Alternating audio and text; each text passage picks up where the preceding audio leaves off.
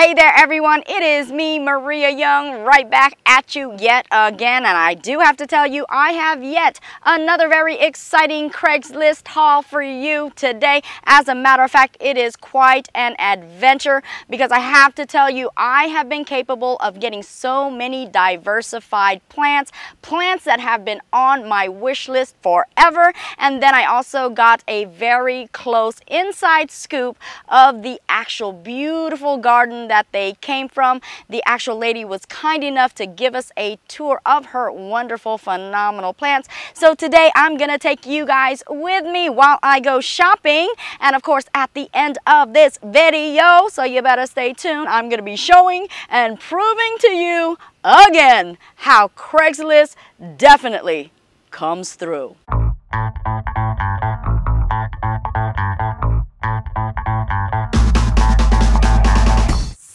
Are you guys ready? Why, of course you guys are. Bam, bam, bam, and boom, boom. Okay, folks, and we have arrived. Your garden's gorgeous.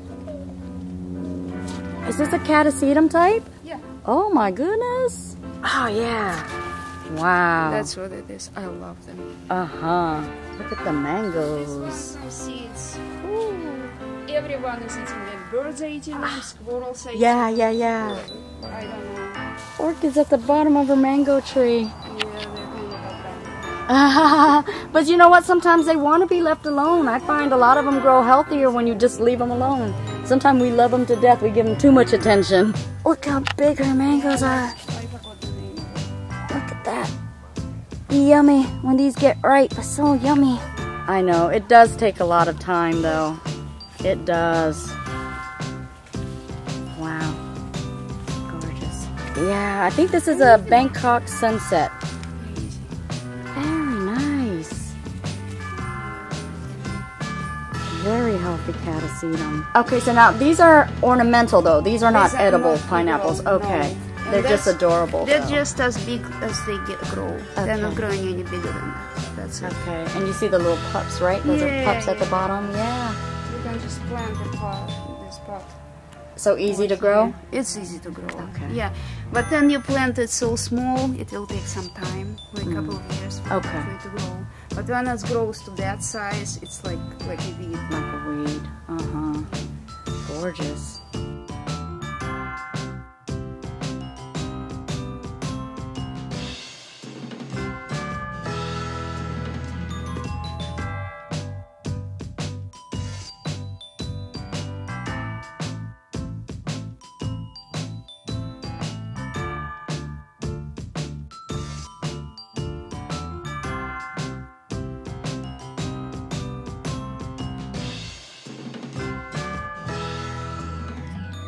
What is this one? Spotted cattleya. Fragrant too, right? Mini cattleyas. Looks like some sort of, um, what is it, spotted jungle, I think they call it. It's uh, jungleized.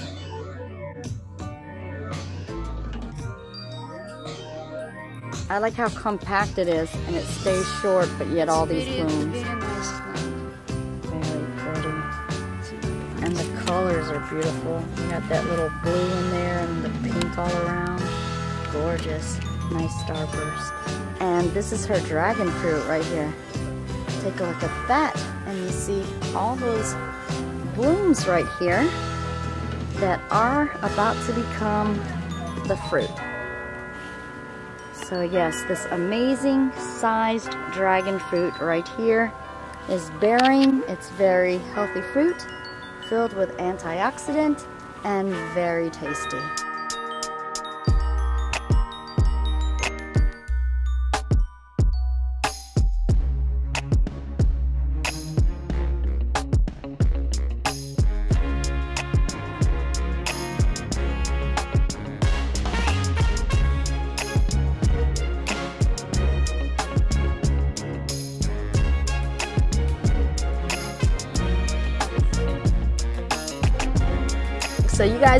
Definitely stay tuned for more and find out exactly what we got in this amazing Craigslist haul.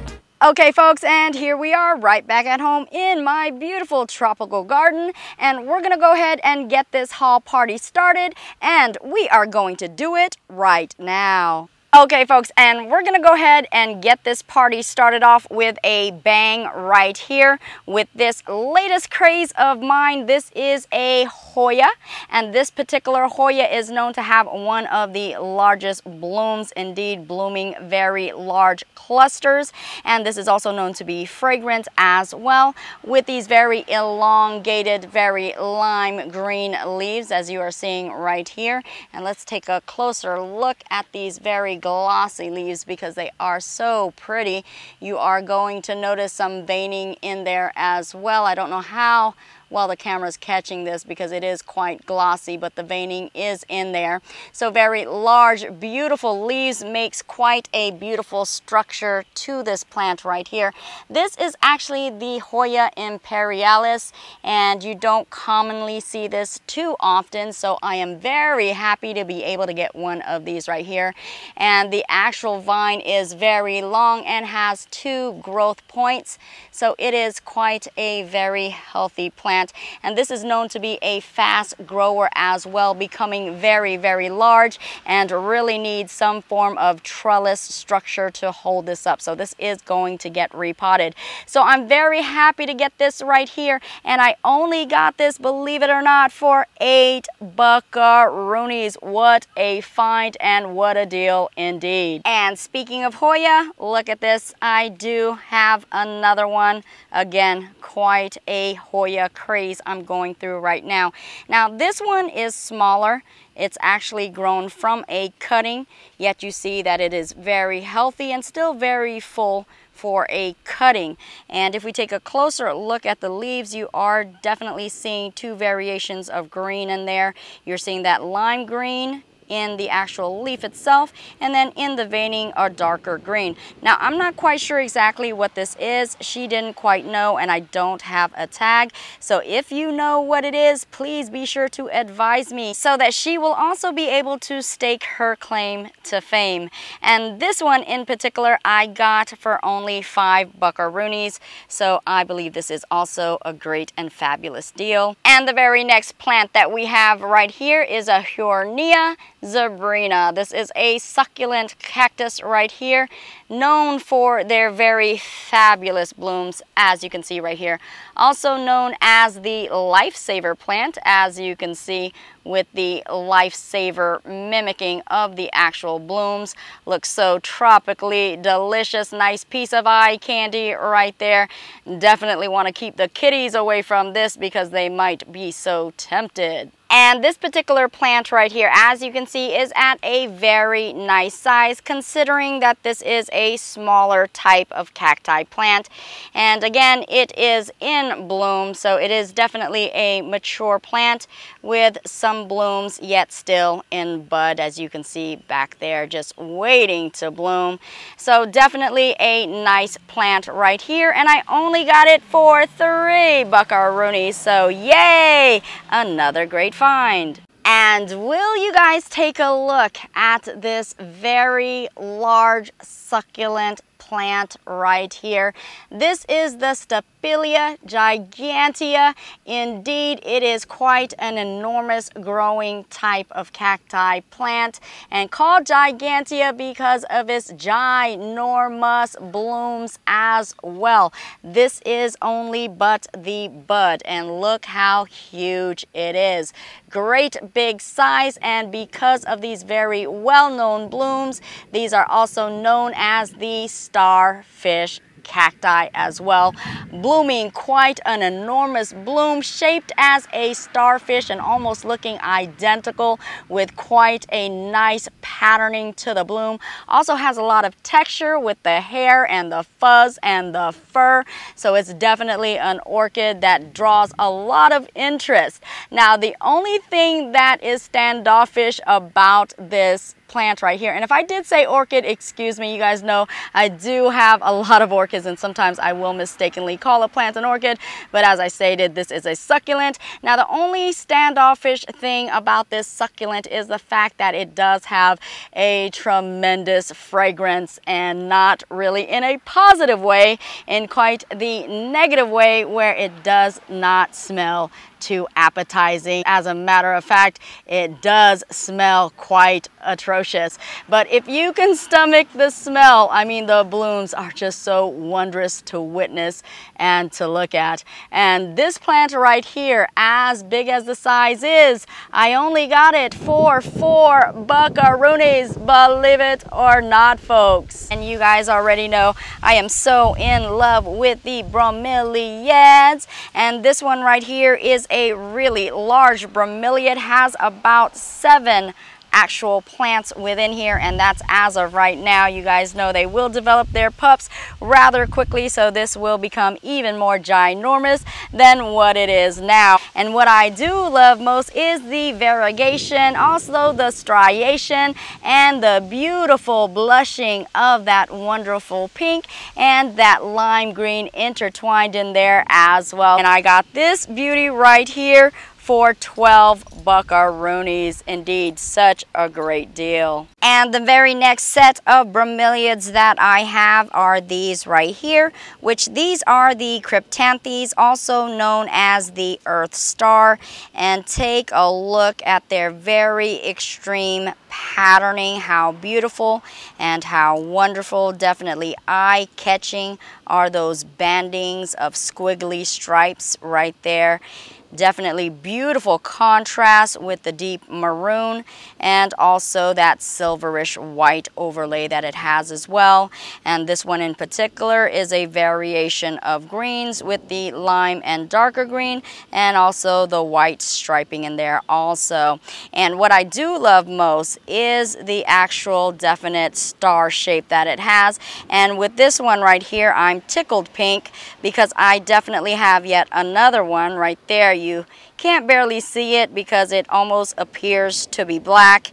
And so now I have a lighter one, which is a maroon, but definitely both very beautiful and adds variation to my bromeliad collection. And since we are on the subject of Cryptanthus bromeliads, let me go ahead and show you some of the ones that I already have. And here's yet another one back there. And if we also take a look down right here, take a look at that. There's some more and this one actually is a mama with a whole bunch of babies on the crown and also beneath the leaves so you definitely can see how they multiply and right there as well. So as you see, I do have quite the variety of the Cryptanthus bromeliads, so I am excited to get the new additions that I have today. Okay, so this plant right here you might already somewhat recognize because of the pineapple shape that it does have on top of the stem or the spike right there. Now this actually is not the edible pineapple, although I will say that the edible pineapple plants are also considered bromeliads bromeliads as well. So if you guys didn't know, that is one of our edible bromeliads. But again, this one in particular is just a mere ornamental plant. But indeed, this is quite a very nice addition to any bromeliad collection. And this can also multiply in a rather large clump, having these adorable pineapple shapes at the very top.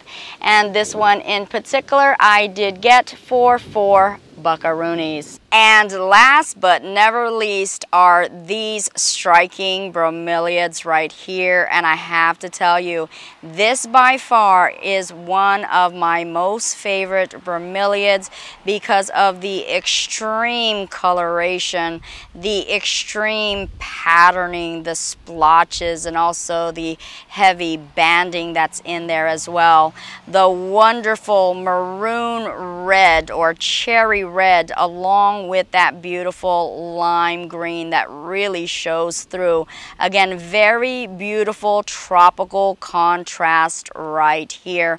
One of the most gorgeous and standout bromeliads. And these actually are in pots that are containing about three or four bromeliads as you can see right here. So definitely this is a great pot containing many plants and I have two of them and they were actually sold to me for $6 a piece. And because they are so striking, so beautiful, so wonderful and one of my most favorite bromeliads, this is really quite a great deal for six buckaroonies. And there you have it, folks. That is my orchid haul adventure. Now, you guys are definitely to have to let me know exactly what you thought about this haul and if all of my excitement was actually warranted because I have to tell you, this is one of my most exciting hauls ever, ever, ever, ever. And although I didn't get any orchids, which you guys know I always am on the lookout for orchids, the actual orchids that she had, she only had a few available and I already had them. So I wasn't going to get duplicates, but I did get a wonderful array of plants as you guys seen. You guys are definitely going to have to let me know exactly which ones were your favorite. And also if you guys also have any of the ones that I got as well, let me know that also. I thank you guys so much for tuning in to yet another episode of My Orchid Adventure. And of course, allowing me to share my love, my passion, my orchids, and my plants with you guys. And if you guys have not yet subscribed, definitely make sure you do that. Like, share, and subscribe, and turn on that bell notification just so you guys will know exactly when I do post a new video. And of course, join me on Facebook and Instagram as well under My Orchid Adventures. And as you guys already know, I do truly love and appreciate each and every one of you guys all. And I will see you guys later. And I'll also grow with you guys later as well. Bye-bye for now. Mwah.